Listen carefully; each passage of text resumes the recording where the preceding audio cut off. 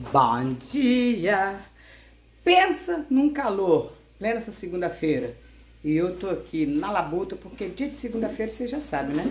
Segunda, quinta ou sexta é o meu dia de dar uma um up a mais na casa, ou digamos uma faxina. Eu ainda tô à espera. Olha aí, fala oi. Olá pessoal, tudo bem? Bom dia. Bom dia. Coisa linda de mamãe. Então, gente, eu tô aqui, a Chica já tá aspirando aqui, ó. Olha aqui, eu já guardei as roupas que eu tinha passado. Essas aqui são da Luana, que ela pediu pra eu não passar. Essas aqui são do Pedro, pra passar, tá dobradinho aqui. Só esperando eu criar coragem de ligar o ferro pra passar. Só que com esse calor, meu amor, não dá não, hein? A Chiquita tá aí arrasando e eu tô aqui no meu guarda-roupa. Isso aqui é essa que eu passei, tá vendo? Ó, tá tudo separadinho já. Isso aqui vai lá pro meu quarto, porque são pijamas. As outras já estão guardadas. Ui, nossa senhora, pensa, pensa no calor. Meu cabelo tá no, na, no dia de lavar, aí com suor, ele tá todo inchado a raiz. Eu não vou fazer nem botox, nem progressivo, nem nada. Porque é só por causa do calor depois ele volta pro normal. E aí eu tô ali lavando também, né? Porque eu troquei roupa de cama e aí fica um monte de coisa para lavar. Mas, mas também já tô terminando. Lá fora, meu terraço tá duas colchas de cama secando lá, porque aproveitar, né? O sol para fazer alguma coisa. Deu uma bela de uma aspirada aqui e agora, hoje ainda, eu pretendo limpar o meu banheiro. Porque eu cansei de esperar a moça que vai vir aqui me ajudar a fazer faxina, porque tá demorando, não tá dando para esperar mais. Aqui. Tô terminando de lavar ali agora, tá secando roupa de cama, tá lavando toalha e aqui já tá as roupas da semana para lavar, ó. Isso porque eu não consegui passar tudo ainda, porque o calor, o dia que eu ia conseguir passar pelo menos a metade, a Luana pediu se eu podia ficar para mel para ela e resolver um problema. Demorou demais, eu desliguei o ferro, porque eu acho que passar roupa não combina com cuidar de neném. E aí quando a Luana chegou, eu já tinha perdido as minhas forças para continuar. Eu sou igual Fusquinha 68. Quando eu começo um troço, eu tenho que ir até acabar, senão a, ba a bateria descarrega. Conta aí pra mim, você também é assim? Que se você começar a fazer uma coisa, você tem que ir até o fim. Se você der uma pausa, você desanima. Eu sou assim. É um defeito horroroso que eu tenho, mas é a minha realidade. Vou tomar um cafezinho. Quando eu tomo meu cafezinho aqui, eu vou contar para vocês coisas sobre mim, tá? Pra vocês me conhecerem um pouquinho a mais. Responde aí para mim também. Três coisas que, que faz você desistir de determinadas pessoas que aparecem na sua vida. Três coisas que eu não suporto que eu acho assim super deselegante, mal educado e que eu não tolero. Primeiro, chegar na minha casa e querer interferir na criação dos meus animais. Mas eu falo de interferir, tá, gente? Eu não falo de te dar uma dica, de te, de te passar um, um método bacana. Não, eu tô falando de interferir. Aquelas pessoas entronas. Nossa, tadinha! O pelo tá no olho, não pode não. Cadê? Me dá uma buchinha, me dá uma buchinha. Nossa, eu detesto que interfiram na criação dos meus animais. Seja a Bela, o James, o John, igual lá no Brasil é um tal de Ai, tadinho, solta eles. Ai, tadinho, tira eles do canil, deixa eles brincar um pouquinho, mas a pessoa nunca fala assim: pode deixar que tudo que eles quebrarem, tudo que eles estragarem, eu pago. Tá aqui, ó. Aqui, eu até deixar um depósito. Eu pago, eu pago o prejuízo. Não. Elas querem mandar na educação dos meus cachorros, mas o prejuízo é meu. Detesto. Teve um período que eu até tolerava, deixava passar batido para não ser grosseira, mas eu coloquei uma coisa na minha cabeça. Agora neguinho falou o que quer, ele vai ouvir o que ele não quer. E se começar a me taxar de grossa, disso, daquilo, liguei o botão do foda-se. Neguinho chegou na minha casa e vai começar a querer interferir na criação dos meus animais. Eu vou dar um coice que eu vou mandar neguinho lá na China. Outra coisa que eu não suporto é, é namoro arranjado. Nunca, não é coisa que eu aprendi depois de adulta, não, tá? Nunca gostei desse negócio. Ai, me apresenta aquele seu amigo. Ai, fala de mim para aquele seu amigo. Ai, o seu marido não tem um irmão solteiro, não. Ai, o seu marido não tem um colega de trabalho, não. Nossa, gente, eu acho isso tão desagradável. Vira e mexe até hoje. Até hoje, de vez em quando, eu recebo esse tipo de abordagem que eu me sinto super constrangida. Já aconteceu de, de amigas me falar assim: eu vou te apresentar um amigo do meu marido, vai que rola uma química. Isso quando eu era solteira. Ah, eu vou te apresentar um colega de trabalho do meu marido, vai que rola uma química e dá em casamento. Como que se eu estivesse à procura de alguém para casar, como que se eu estivesse procurando um namorado. Tem mulheres que não conseguem imaginar a vida delas se não for ao lado de um homem. Tem mulher que acha que uma mulher só é mulher se tiver casada, se tiver noiva, se estiver namorando sério. E eu nunca fui assim. Então, quando elas falavam isso comigo, eu me sentia super constrangida. E eu falava, ô, oh, mas quem foi que falou pra você que eu tô procurando namorado? Deu me livre, eu gosto de ser livre, solteira, livre, desimpedida, beijar muito, sem compromisso. É uma coisa que eu nunca suportei, nem que fizessem comigo, muito menos eu fazer isso com os outros. Você nunca viu e nunca vai me ver falar assim: Ô Fulana, eu vou te apresentar um amigo do meu marido. Ah, ô Fulana, eu vou te apresentar um colega de trabalho do meu marido. Ô Fulana, eu vou te apresentar um amigo do Pedro, um amigo do Lucas, um amigo do meu irmão. Você nunca me viu fazer, fazer isso, porque eu sempre achei isso ridículo, para ser bem sincera para vocês. Namoro e casamento arranjado, uh -uh. eu vejo mulheres por aí que até acusam outras mulheres de ter casado para ter uma vida financeira estabilizada, como que se casamento estabilizasse a vida financeira das mulheres. Eu acho que mulher que faz esse tipo de comentário são mulheres, no mínimo, muito machistas, muito frustradas com as próprias vidas delas, porque pode até é, ser que existam algumas exceções, né? Que alguém algum dia era pobre, se casou com um homem bem de vida e estabilizou a sua vida financeira. Mas não quer dizer que toda mulher que está casada com um homem que tem uma, uma profissão é, é, é, bem remunerada, com um homem com uma posição social é, é, tranquila, não quer dizer que a mulher casou com ele por estabilidade financeira. Até porque casamento não garante estabilidade, estabilidade financeira para ninguém.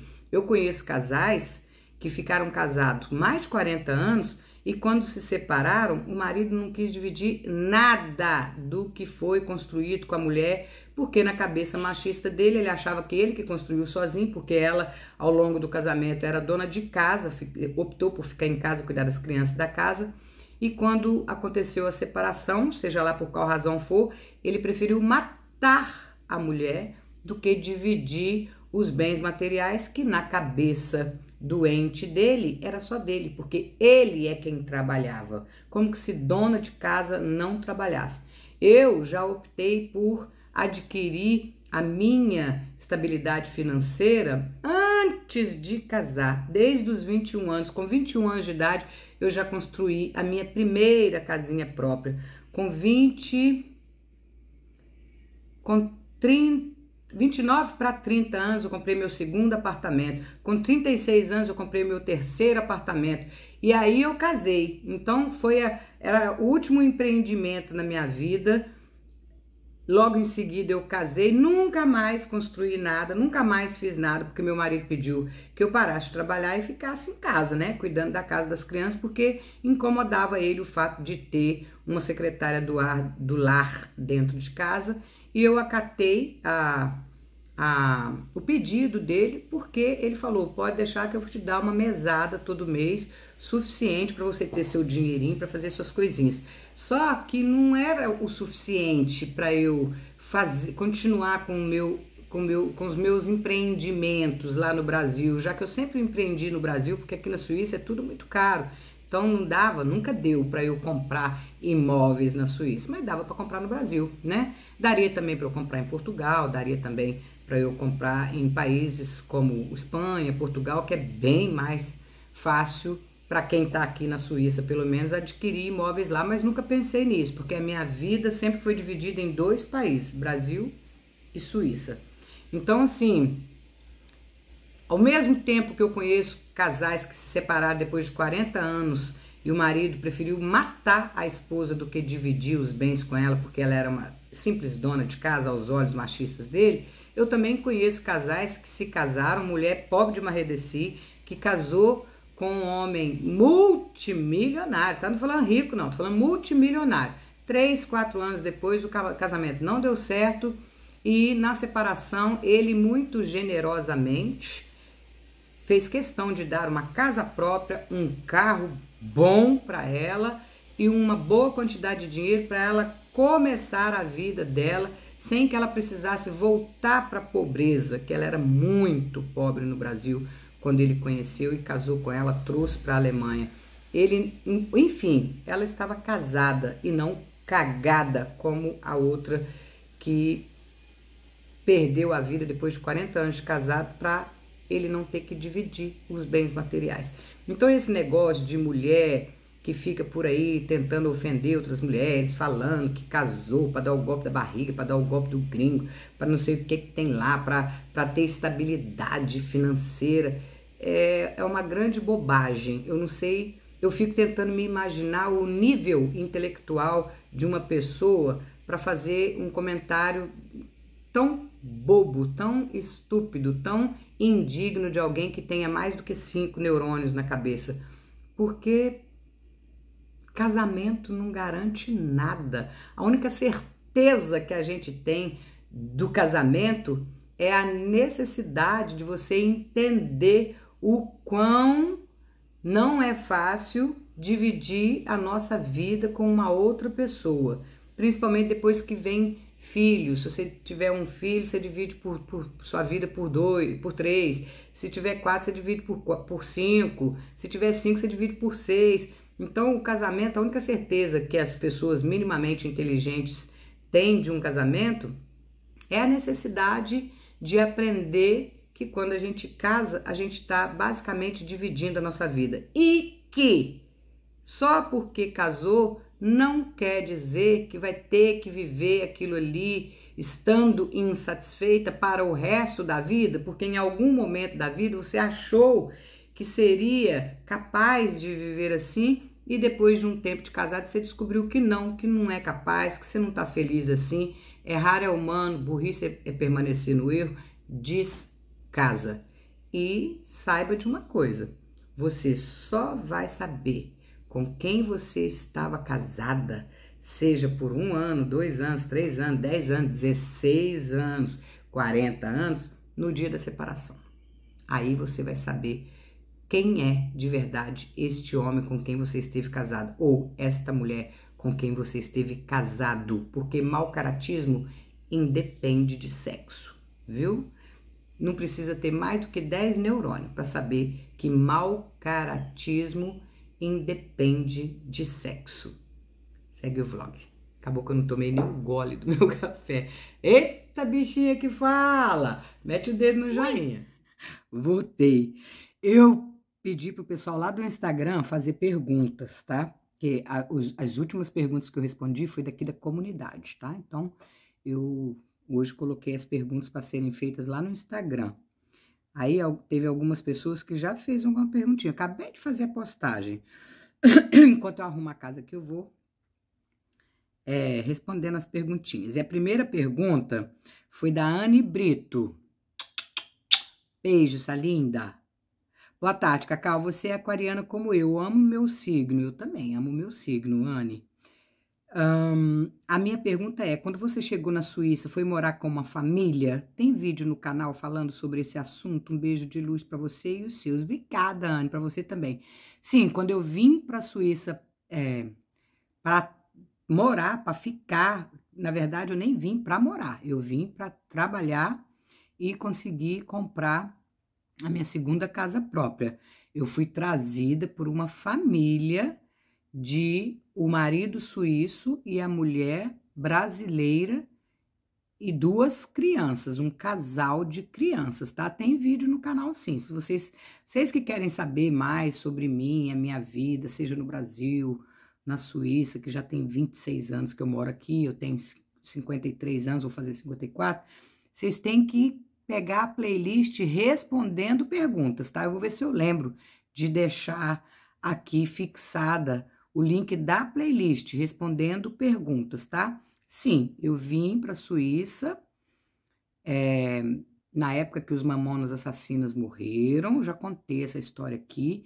Na ocasião, eu trabalhava fazendo show cômico dos mamonas assassinos, não dos mamonas assassinos, mas usando as músicas dos mamonas assassinas. Tipo, eu interpretava a música, eu criei alguns personagens, Robocop gay, é, o Brega da Brasília Amarela, e eu o DJ colocava a música e eu fazia o show interpretando com uma.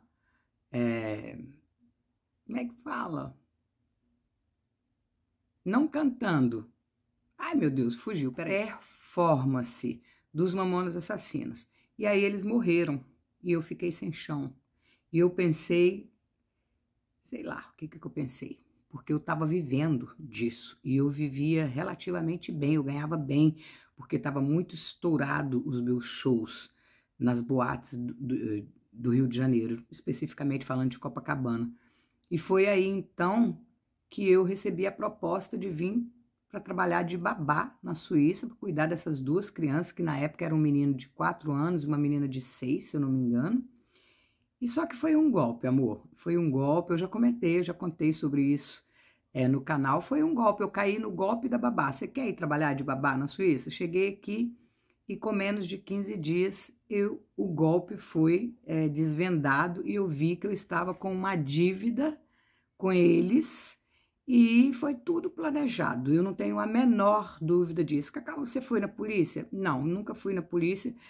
Porque eu, quando eu fui estuprada aos 14 anos, eu não fui na polícia, nos 15 eu não fui na polícia, nos 16 eu não fui na polícia.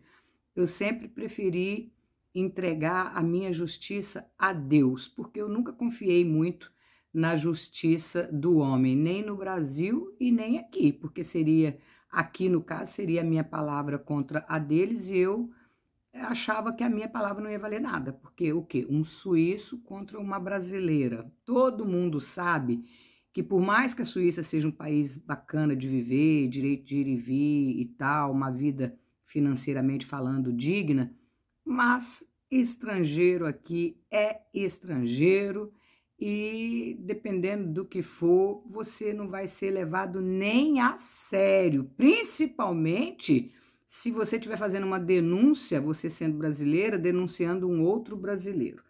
Já temos uma péssima fama aqui de que gostamos de prejudicar uns aos outros. Mas que eu caí no golpe, eu caí sim, mas eu fiz, como sempre na minha vida, de um limão eu fiz uma limonada e hoje eu vivo tranquila e as notícias que eu tenho deles por alto é de que pelo menos ele, que foi quem armou toda a cilada para mim, está na mais profunda merda, porque é assim que é a vida de quem vive por aí prejudicando a vida das pessoas, usando as pessoas, abusando das pessoas, fazendo maldade gratuita para as pessoas. Não vai para frente. Não vai para frente. Principalmente quando eles fazem esse tipo de coisa com pessoas que creem em Deus e que sabem que a melhor justiça que tem na face da terra é a de Deus. Tem vídeo sim, tá? Vou deixar o link da playlist respondendo perguntas aqui. Claro que eu nunca entrei em mínimos detalhes, porque às vezes a gente conta uma história com a intenção de que aquela história ajude pessoas.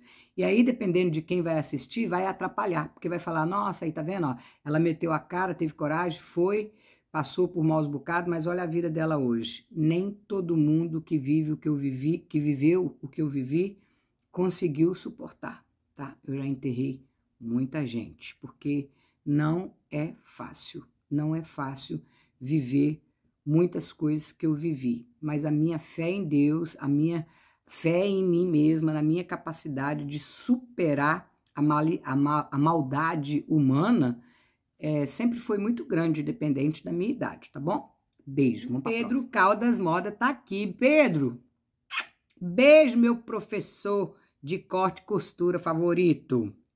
Delusa, um beijo. E aí tem a Denise VVV. Cacau, eu te sigo há alguns anos. Adoro te acompanhar. Eu confesso que eu não consigo assistir todos os vídeos, mas sempre que posso você tem o meu like garantido. Obrigada, Denise. Pergunta: se você pudesse tirar algo do Brasil para colocar na Suíça, o que seria? Te acho super poderosa, a supermãe, povo, consegue cuidar de todos, de tudo e de si mesma. Obrigada. Eu que agradeço, viu? Ô, Denise, ah, tem que ser, né? A gente pode sim cuidar de tudo e de todos na medida do nosso possível, mas sem esquecer da gente, né? Porque se a gente. É, se eu morrer amanhã, e aí? Como é que faz? Eles vão ficar aí sem eu e eu não vou ter tido o prazer de curtir a minha própria vida. Se eu pudesse tirar algo do Brasil e colocar na Suíça. Tenho certeza que quem acompanha o canal é, diariamente sabe qual é a minha resposta. O clima. Cacau, eu detesto calor, eu amo calor. É óbvio que tudo que é demais é ruim, mas eu acho muito mais fácil me refrescar de um dia que está muito quente do que me aquecer de um dia que está muito frio. Então, eu, tudo que é demais é ruim. O calor demais é ruim, o frio demais é ruim. Mas se eu pudesse tirar algo do Brasil e trazer para cá, eu traria o clima tropical que eu amo. É basicamente a única coisa que eu sinto falta. Mas não seria justo, né? Porque o povo brasileiro já está acostumado com o clima tropical e a maioria, com certeza, não suportaria o frio excessivo que tem aqui na Suíça. Apesar de muita gente, quando eu falo do frio, falar assim, ai, pois eu amo frio, gostaria de estar tá aí. Vocês não sabem o que é frio. Eu já peguei 30 graus negativos na Suíça. É muito frio, tá? Hoje em dia, o clima mudou bastante aqui, desde que eu cheguei na Suíça, tá?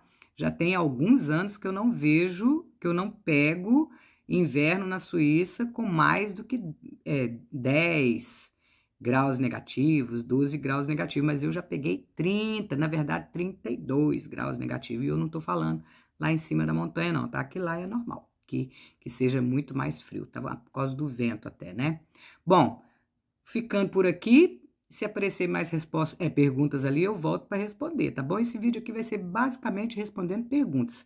Obrigada a todo mundo que está fazendo as perguntinhas lá no Insta, tá? Adoro! Ah. Não esquece do joinha. E vocês aí que têm perguntas e não tem Instagram, se quiser, pode deixar sua pergunta aqui nos comentários desse vídeo, que a hora que eu tiver um tempinho, eu corro e respondo, nem que seja no meio de um vlog, tá bom? Acabou de aspirar aqui, gente. Vou voltar minhas coisas pro lugar aqui. Olha aqui o que, que eu voltei a usar, ó. A Luana tinha confiscado, eu não sabia nem por onde andava.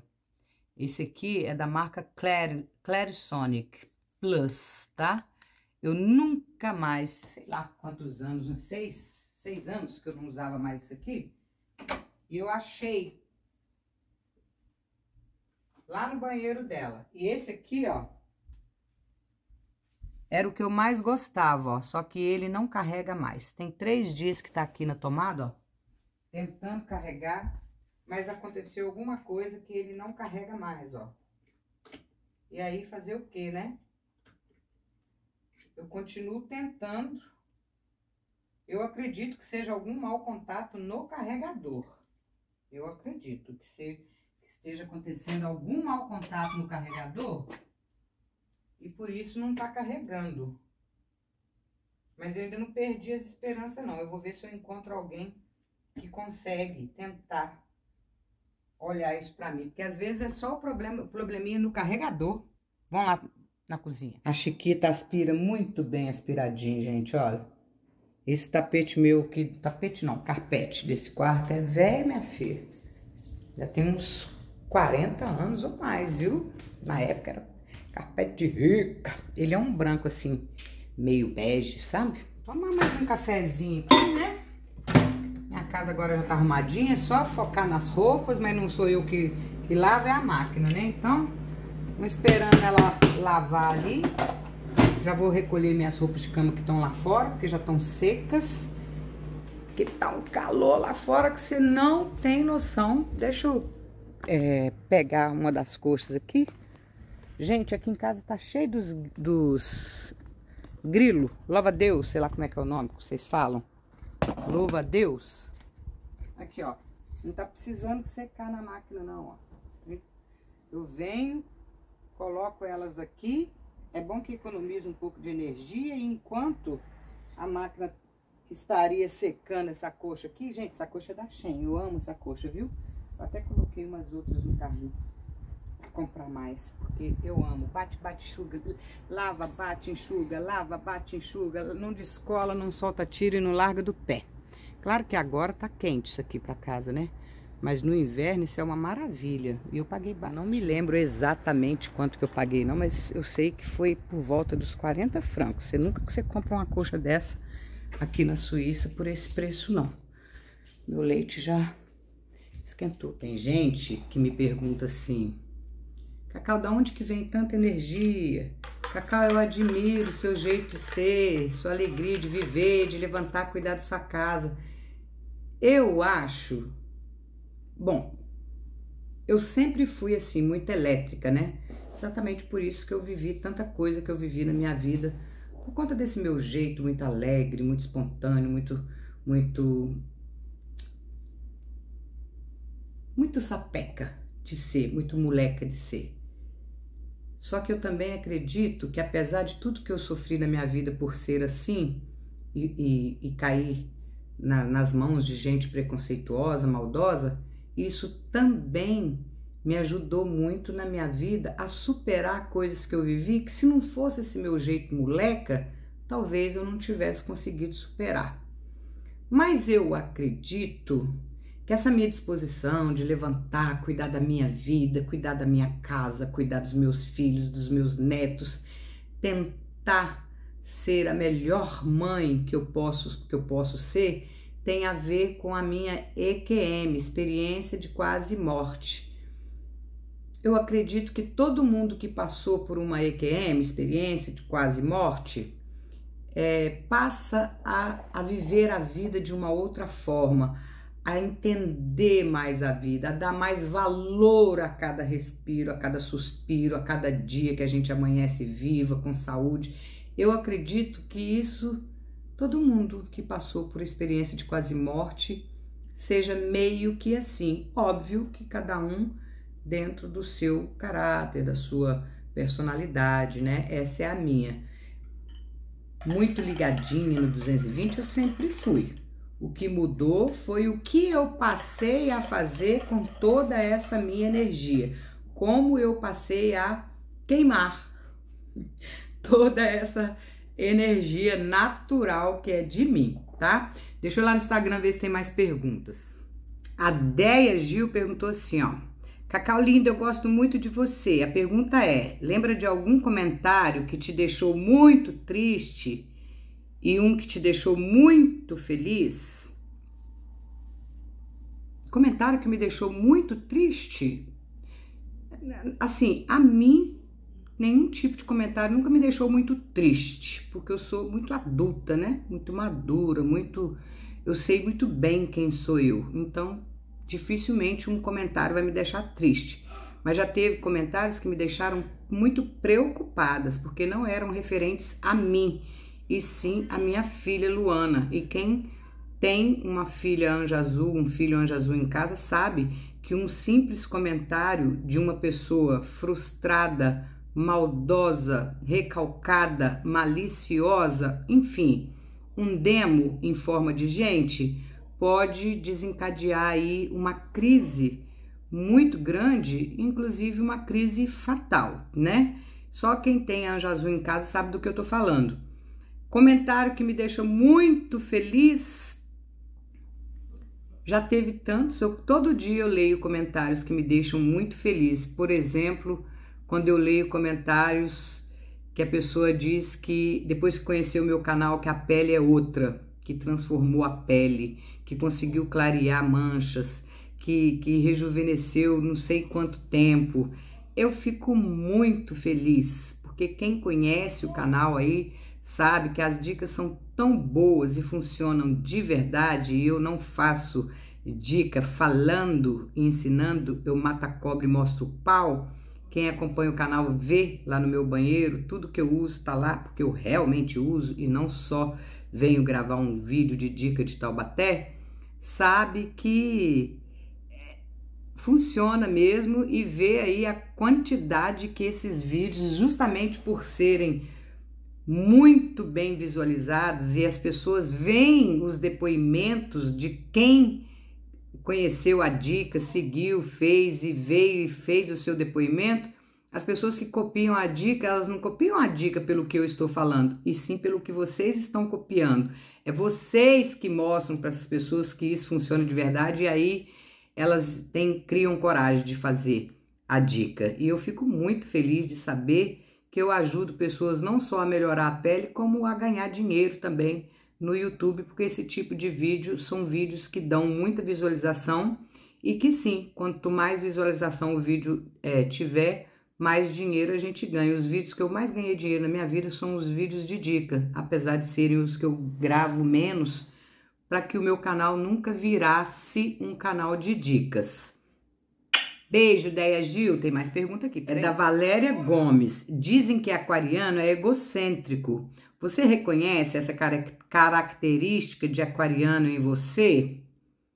O, Valéria, eu até coloquei aqui o significado de egocêntrico, e aí eu vou ler o significado e vou falando em cima, tá? Porque como eu sou uma pessoa semi-analfabeta, algumas palavras do português eu nem sei. Eu acredito que a palavra egocentrismo seja vista por alguns olhos como algo é, pejorativo e por outros olhos como algo positivo. Sempre vai depender dos olhos e ouvidos, ouvidos de quem vê ou ouve, né?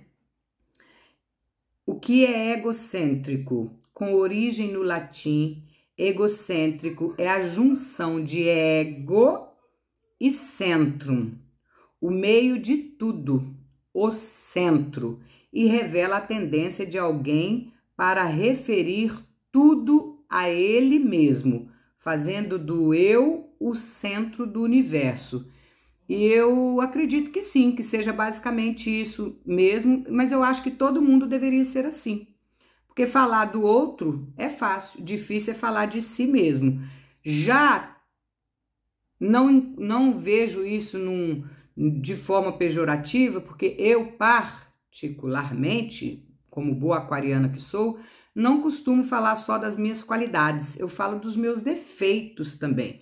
Mas, aos olhos de algumas pessoas, ouvidos, o que chega no ouvido de algumas pessoas, nunca chega os, os defeitos da minha personalidade que eu aponto, só chega as qualidades. Por quê? Que as incomodam. Por quê? Porque aquela pessoa ela tem muito mais prazer em assistir uma pessoa se autodepreciar do que se auto é, elogiar. Ela sente muito mais prazer, faz muito mais, faz muito melhor pro ego dela ver alguém só falar das suas dos seus defeitos do que das suas qualidades. Então, quem é que está errado? O aquariano que é capaz de falar dos seus defeitos e qualidades ou o que, sei lá, de que signo que é, que só tem prazer em ver o outro falar, comentar sobre os seus defeitos. Eu acho que ninguém tem só defeito, ninguém tem só qualidade. Mas eu acho muito triste uma pessoa que só sente prazer em ver o outro falar das mazelas da vida, do caráter e da personalidade dele. Deixa eu continuar lendo aqui. E mais, eu particularmente não costumo me colocar no centro do mundo, não. Tanto que eu sou aquela pessoa que não gosto de ser invasiva e detesto gente invasiva. Se eu perceber que uma pessoa é invasiva, ela já não serve para se relacionar comigo, porque eu não suporto me sentir invadida, assim como eu não suporto invadir ninguém. Quem conhece a, a, a Cacau e vê meus comentários por aí, YouTube afora, Instagram afora, já deve ter reparado que eu nunca sequer questiono absolutamente nada da vida pessoal das pessoas as quais eu sigo na internet. Eu sempre deixo aquele comentário: amo, adoro, é, é, amei o vídeo e tal. Você nunca me viu questionar absolutamente nada da vida de ninguém, porque eu realmente não gosto de ser invasiva. Não que quando alguém me pergunta algo da minha vida me incomode, porque eu não tenho o menor problema em responder, desde que eu não acredite que seja uma, uma pergunta invasiva demais, de gente sem noção eu até gosto quando vocês me fazem pergunta. Ser egocêntrico consiste em uma exagerada exaltação da própria personalidade, até a considerar como centro das atenções e de atividades gerais. Não me reconheço nisso aqui, tá? Não me reconheço nisso aqui. Vídeos muito bem visualizados meu no YouTube pode te mostrar isso, como por exemplo, como eu descobri o verdadeiro amor, como eu me libertei das mágoas e tal. Ali eu abro 100% meu coração e eu acredito que uma pessoa egocêntrica jamais gravaria um vídeo daquele, tá? E é um vídeo 100% verdadeiro. Na pessoa egocêntrica se encontram a imaginação e o pensamento tão permanentemente ocupados com o próprio eu e os seus interesses, que é incapaz de se colocar no lugar do outro indivíduo e de contemplar do ponto de vista de outro eu, eu a matriz ou o aspecto de quem de tem a matriz ou o aspecto que tem as coisas e acontecimentos. Não me vejo nisso aqui a minha vida inteira. Hoje em dia eu tento corrigir isso.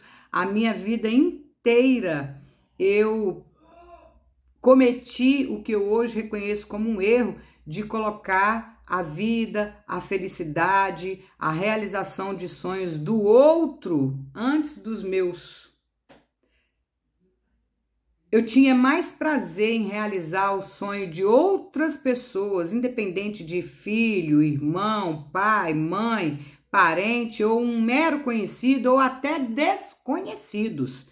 Eu sempre fiz questão de realizar sonho de outras pessoas, porque isso sempre me fez um bem enorme assistir, presenciar pelo menos um momento feliz de realização de outras pessoas sempre me deu um prazer muito maior do que quando eu realizava os meus próprios sonhos. E agora, depois de velha, que eu tô tentando corrigir isso, porque infelizmente pessoas que vivem assim como eu vivia acaba atraindo muito oportunista, muita gente falsa que só nos usa para nos usurpar e isso é muito ruim. Então eu não me reconheço nisso aqui. Talvez eu seja uma aquariana de Taubaté. Os egocêntricos são sujeitos dispostos a fazer com que outros suportem as próprias dificuldades sem os ajudar, porque não se preocupam com os pensamentos, sentimentos e problemas das pessoas que os rodeiam. Também são capazes de fingir perante si mesmos e perante os outros por não se atreverem a enfrentar a realidade com medo de ferir as suas exigências.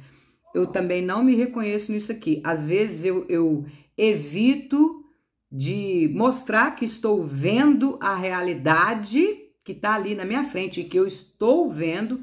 Eu procuro, às vezes, não reagir para não ferir o outro, porque eu acho, será que eu não estou viajando na maionese? Será que eu não estou vendo é, fogo onde não tem fogo? É, comigo é absolutamente o contrário. Quem me conhece sabe que eu jamais em toda a minha vida tapei os meus olhos para as dificuldades do meu próximo. Eu já cansei de tirar de mim não é tirar do meu, não. É tirar o meu, tirar de mim para dar para o outro e depois pensar: Nossa Senhora, e agora? O que, é que eu vou fazer? Deus ia lá e falava: Toma, você está passando pelo que você está passando porque você se atreveu em colocar o outro como mais a, a necessidade do outro como mais importante do que a sua própria necessidade. Portanto, eis-me aqui, eu vou te honrar. Sempre foi assim na minha vida. Então eu não me reconheço não como egocêntrica não. Agora, reconhecer as minhas qualidades, falar do meu caráter e as outras pessoas interpretarem o que eu conto como ações, atitudes de uma pessoa de bom caráter, de uma pessoa de uma personalidade admirável, aí já não sou eu que me dou essa nota, tá? Eu me acho um ser humano cheio de defeitos, mas também cheio de qualidades. As minhas qualidades com certeza superam os meus defeitos. E não é porque o outro pode me ver como egocêntrico, porque ele tem uma autoestima baixa e ele não suporta ver que as outras pessoas têm qualidades que ele não se reconhece nelas, que eu vou uh, acreditar quando ele me chamar de egocêntrica, como que se o meu amor próprio fosse algo errado. Amor bom é amor próprio. Tá? Um beijo, amor. Obrigada pela sua pergunta. Vou parar com esse vídeo por aqui então, porque senão ele fica muito longo, porque eu não dou conta de responder as perguntas superficialmente. Eu gosto de dar o mínimo de detalhe possível. Você aí que tem uma pergunta, desculpa, mas não tem Instagram, pode deixar aqui no vídeo que assim que der eu volto respondendo a sua pergunta. Dependendo da pergunta, eu faço até um vídeo específico, tá? Porque eu gosto de responder com mínimos detalhes, tá bom? Cuidado com quem te taxa de egocêntrico. Talvez não seja você o egocêntrico, mas sim ele que não é capaz de reconhecer as suas qualidades e vive por aí se rebaixando para conseguir a admiração de pessoas que esse tipo de gente não faz falta na minha vida. Deus que me livre de ser admirada por pessoas que só vão me admirar se se eu me autodepreciar o tempo todo para satisfazer o ego dela. Talvez seja ela que tenha um ego muito inflado, tá bom? Um beijo e a gente se vê no próximo vídeo. Não esquece de meter o dedo no joinha, tá? Fui. Tchau, meus amores. Uma semana maravilhosa para todos nós que merecemos. Fui.